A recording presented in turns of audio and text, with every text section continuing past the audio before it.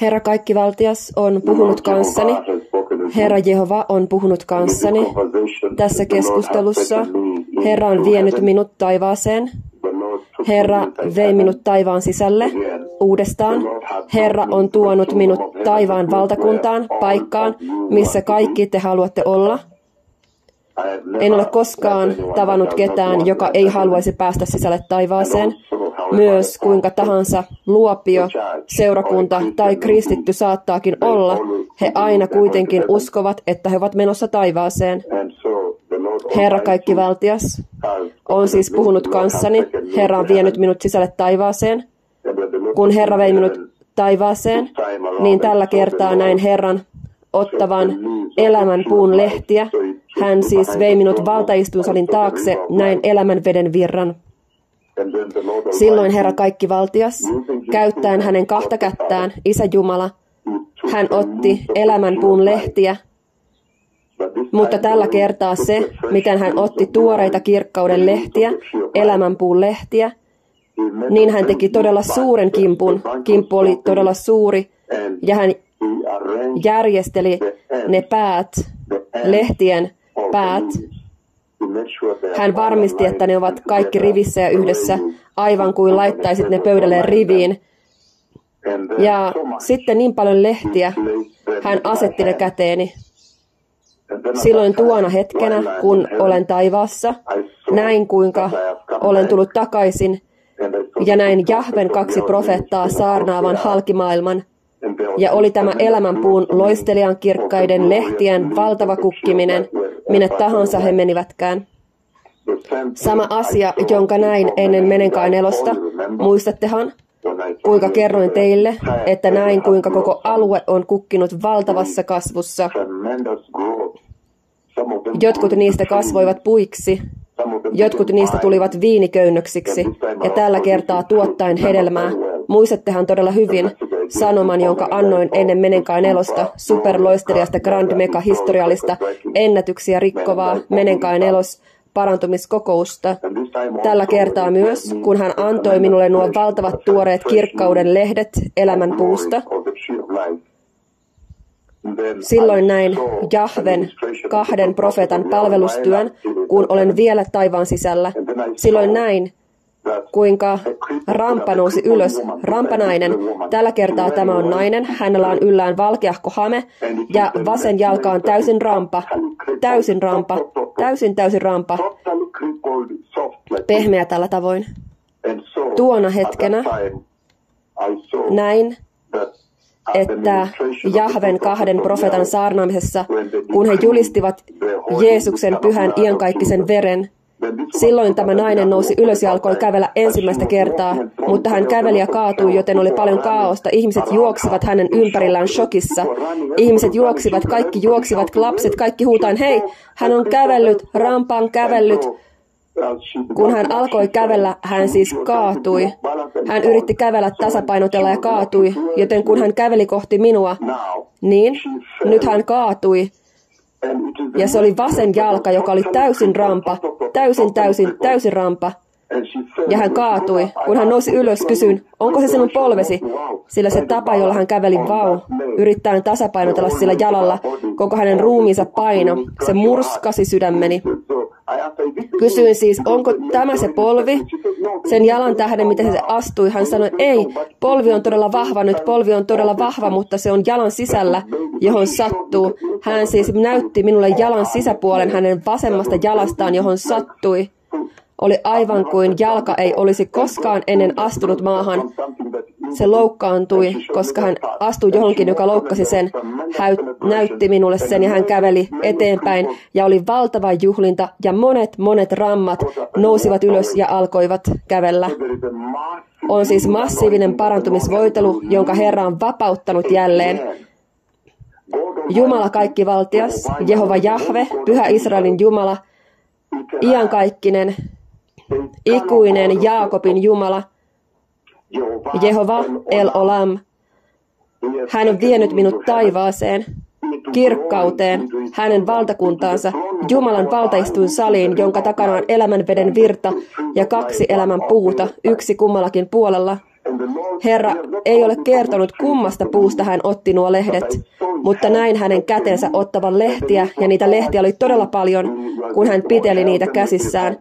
Joten hän täytyy järjestää niiden päät, aivan kuten otat paljon lehtiä ja laitat ne pöydälle järjestele niiden päät. Hän järjesteli käsillään niiden päät ja ne olivat todella hyvin järjestetyt ja hän antoi ne minulle. Tulee siis olemaan massiivinen parantuminen, joka tulee jatkumaan halki maailma, maailman, halki tämän maan ja halki maailman. Kuka vain, joka on kuulolla, joka kuuluu parannuksen teon ja pyhyyden palvelustyöhön, tai joka on kuulolla ja tietoinen, on hälytetty, on jonkun evankelioima, ja hänellä on kerrottu, että Herra on avannut Jeesuksen veren lähteen täällä, niin hän pystyy hyötymään. Aivan kuten voitte nähdä, nämä parantumiset eivät ole riippuvaisia uskostanne. Ne riippuvat tie- tiukasti siitä mandaatista, auktoriteetista, voitelusta, kirkkaudesta, jonka Herra on asettanut häneen, joka puhuu kanssanne tänään ja nyt. Tulee siis olemaan tauoton parantumiskokous halki tämän maan ihme. Ja se tulee tapahtumaan halki koko matkaan. Tämä tulee olemaan massiivinen, joten uudestaan toinen parantumiskokous tulee jatkumaan halki koko matkan, kunnes yhdistämme seuraavien neljän kuukauden aikana. Tulemme valmistautumaan melkein lähtemään toiseen menenkai kokoukseen seuraavan neljän kuukauden aikana tästä hetkestä eteenpäin tulemme olemaan menenkai vitosessa, menenkai viiden sydämessä. Juuri nyt olemme tammikuussa. Sen jälkeen, kun olemme tyhjenneet vieraista ja aloitamme lähetyksemme, ohjelmamme, silloin meillä on helmikuu, maaliskuu, huhtikuu, toukokuu. Meillä on vain neljä kuukautta. Joten siinä väliajalla, niinä neljänä kuukautena ennen kai menen kai vitosta, tulee olemaan tauoton parantumiskokous jälleen. Herra on voidellut hänen palvelijansa todella massiivisella tavalla. Kaikki olkoot osallisia tästä massiivisesta parantumisvoitelusta, jonka Herra on vuodattanut ylleni. Tämä on mahtavaa, ja vain he, jotka alistuvat Herran äänen alle, aivan kuten kuulitte vanhemman arkkipiispan sanoman tänään, että yhden pastorin vaimo oli täysin rampa 16 vuotta. Viimein hän tuli seurakuntaan. Kun hänelle kerrottiin, että hänen vaimonsa on kävellyt, hän ei ollut kokouksessa, mutta hän juoksi katsomaan TVstä. Ja kun hän näki hänen vaimonsa kävelevän televisiossa, niin hän juoksi suuren kokoukseen ja viime sunnuntaina hän tuli. Hän tuli Nakurun pääalttarille ja sanoi, että olen ylittänyt mukaan. Olen hylännyt sen toisen seurakunnan, jossa olin pastorina. Olen jättänyt kaiken, koska vaimoni oli rampa maateen sängyssä 16 vuotta.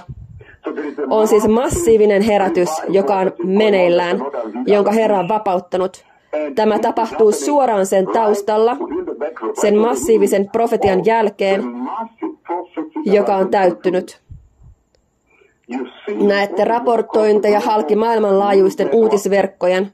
Maailmanlaajuiset uutisverkostot, uutistoimistot ovat sanoneet, juuri nyt he ovat sanoneet, että tämä räjähdys, tämä massiivinen räjähdys, jonka Jahven kaksi megaprofettaa julistivat 3. loukakuuta vuonna 2021, oli suurin tunnettu räjähdys ihmishistoriassa.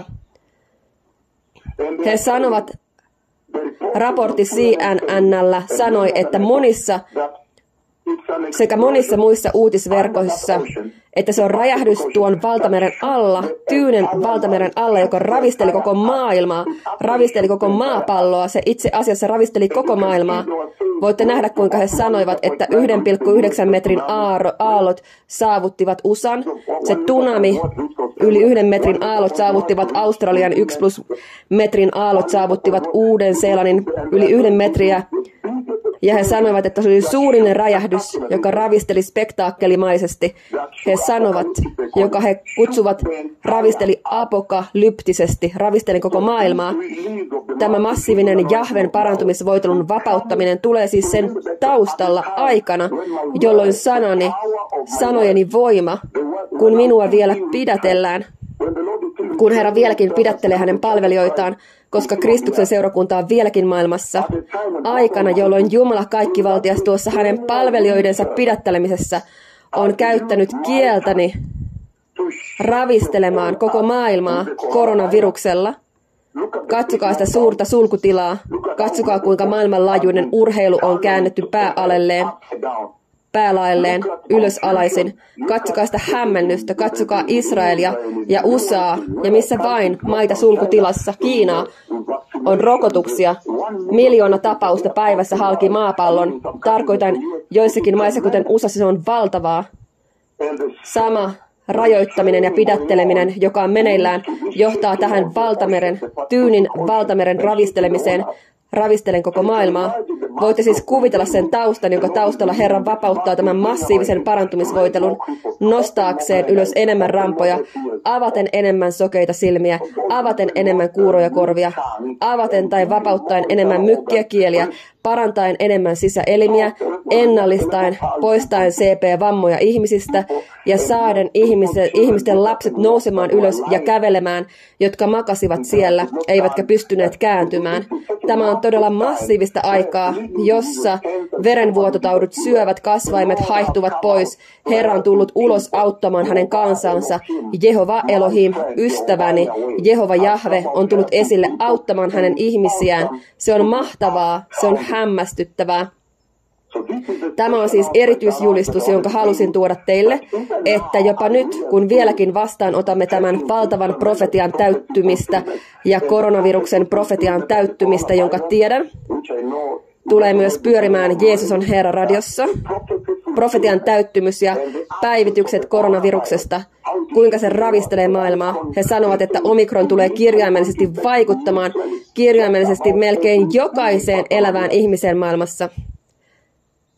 Sitten valtameren ravisteleminen, nuo massiiviset sanat kolmas 2021, jotka räjäyttivät, jotka ravistelivat valtameren pohjaa.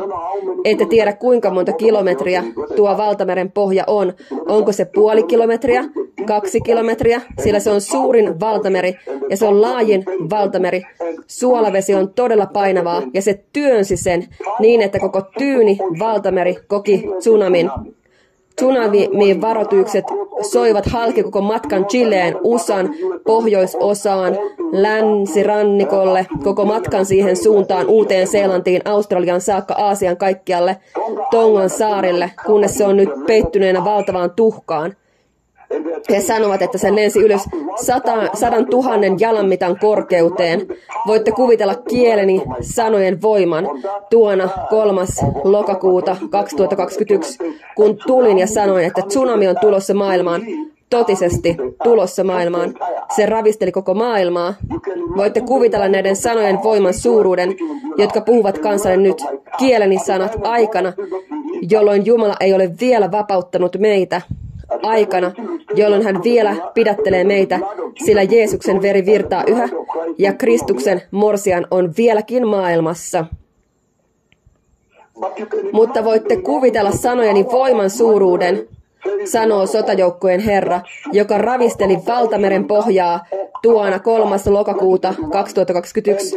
Ja se painavan suolaveden ja se työnsi läpi veden, työntäen läpi. Jos katsotte niitä kuvia, videoita, niin se on aivan kuin ydinen räjähdys, jopa suurempi työntää läpi meren pohjasta, valtameren pohjasta, työntää läpi raskaan valtameren veden massiivisella voimalla, joka luo työntämisen tsunamin koko valtamereen.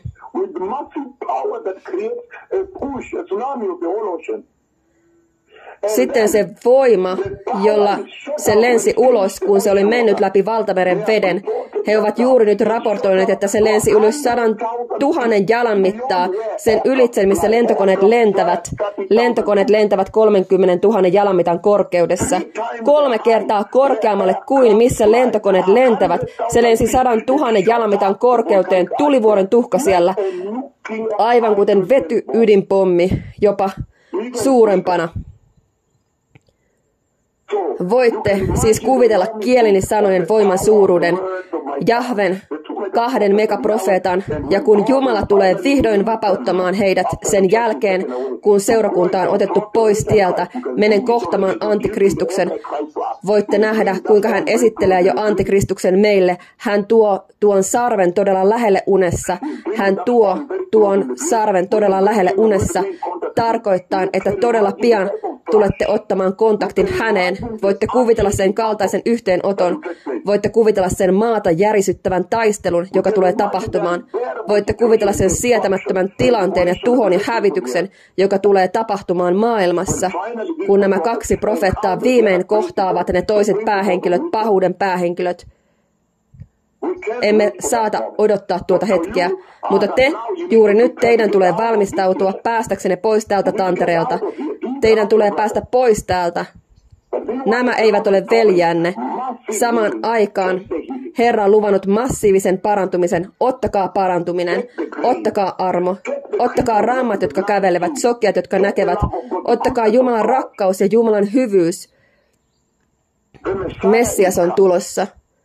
Voitte nähdä, kuinka kaikki tapahtuu samaan aikaan. Hän esittelee nyt antikristuksen. Hän esittelee tuon sarven, tuon sarven minulle. Danielin kirjan luvusta kahdeksan. Valtava hetki, siunatut ihmiset. Ja samaan aikaan vapauttaen armon kaikista shokeraavimmalla tavalla. Tänä aamuna julistin, että 86 rampaa on vahvistettu tähän mennessä, jotka kävelivät menenkaan nelosella. Nämä ovat heitä, jotka he ovat ottaneet ja vahvistaneet sairaiden portilla numero yksi, jossa lääkärit olivat ennen parantumista sekä nauhoitukset ja he ovat laittaneet yhteen, he ovat yhdistäneet heidän parantuneeseen tilansa menenkai nelosella. Nyt illalla, kun puhumme, niin luvut ovat jopa kasvaneet, muuttuneet. Voitte kuvitella 86.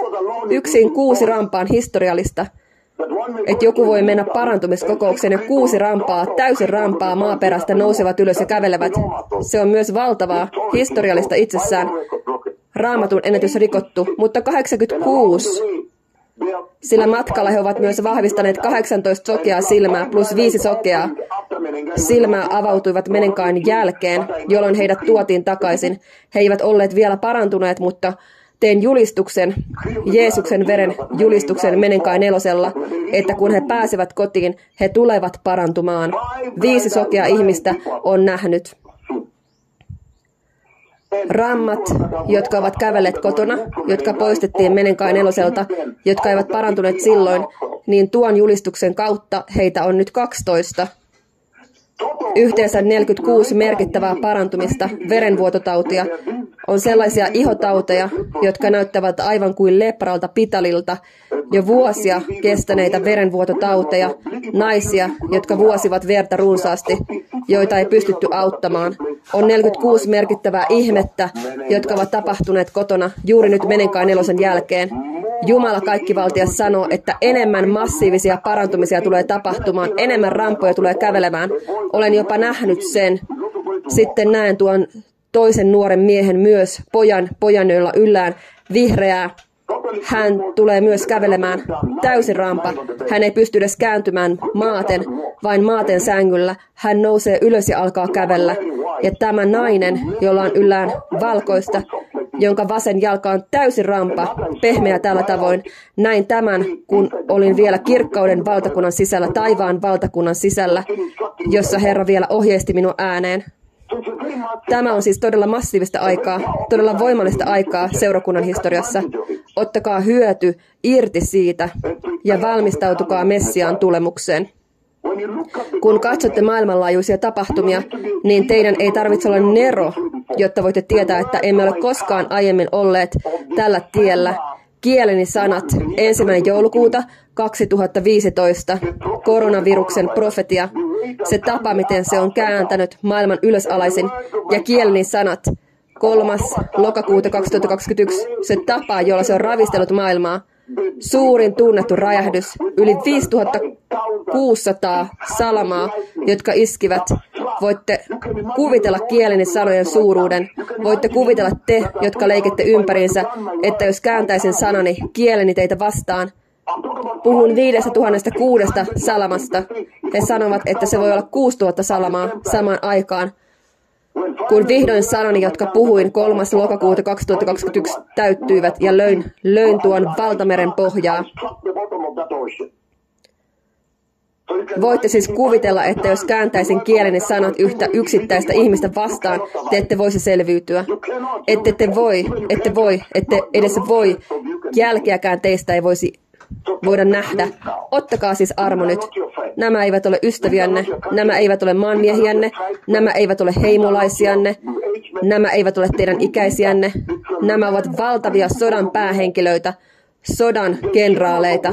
He ovat tulleet valtavan voiman kanssa. Kuulitte eilen, kuinka he sanoivat, että olemme iloisia, että antikristuksella tulee olemaan kaikki saatanan voima, mutta meillä on kaikki Jahven voima. Emme saata odottaa tuota yhteenottoa, emme saata odottaa tuota taistelua, tuota konfliktia, kun vihdoinkin otamme yhteen ja maa järkkyy. Mutta sillä aikaa lähtekää pois täältä. Olkaa pyhät, valmistautukaa, Messias on tulossa. Massiivinen voitelu, jälkimmäinen kirkkaus, myöhempi voitelu virtaa. Jeesuksen veri virtaa, parannuksen teko virtaa, pyhyys virtaa. Kaikkeen tulee valmistautua, kun vain kuulette, että 86 rampaa, jotka ovat kävelleet, on vahvistettu tähän mennessä, niin sen kaltaisen tähtitieteellisen luvun tulisi tyrmistyttää teitä, tulisi sokerata teitä, hämmästyttää teitä ja saada teidät vain tekemään parannuksen ja sanomaan, että Jumala on hyvä, vastaanotetaan, Jeesus, vastaanotan Jeesuksen tänään, haluan olla pyhä, Messias on totisesti tulossa. Herra siunatkoon teitä, kiitos, toda rabaa, baruch Hashem, toda erev tov.